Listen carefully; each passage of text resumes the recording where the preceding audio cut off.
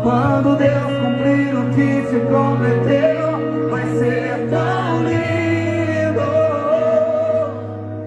Quando teu sonho sai do papel, você passou por coisas que